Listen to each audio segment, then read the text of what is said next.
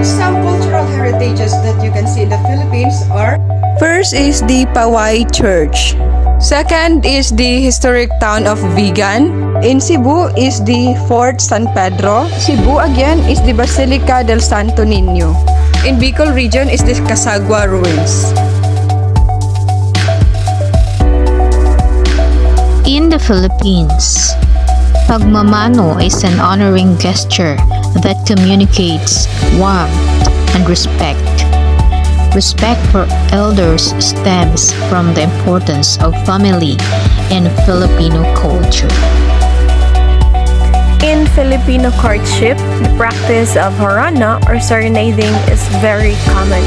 At night, young men would sing in front of the windows of women's bedrooms in an effort to catch their attention and eventually win their approval for romantic advances. So, the most traditional way to court a woman in the Philippines is to demonstrate your willingness to sacrifice, usually physically, for her and her family.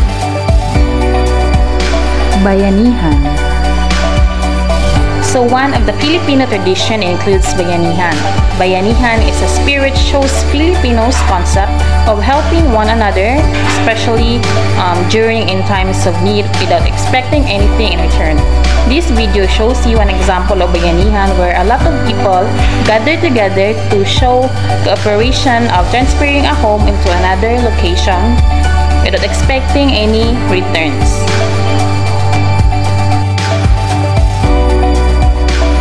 Philippines is home to hundreds of folk dances.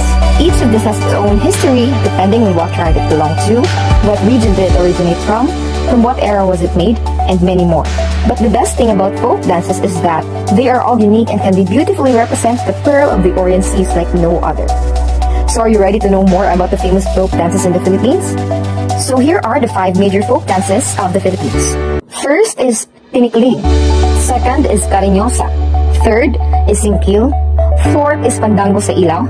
And lastly, fifth is the Itik Itik.